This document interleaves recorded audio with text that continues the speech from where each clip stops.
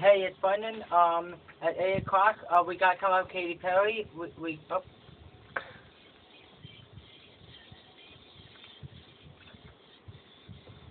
We- got some ketchup, we got CeeLo Green, we got Bruno Mars, and right now it's Katy Perry firework on Midnight Somewhere 7. I kind of got cut off. How Oh, did you man, know it was going to be fireworks, though? So perfect.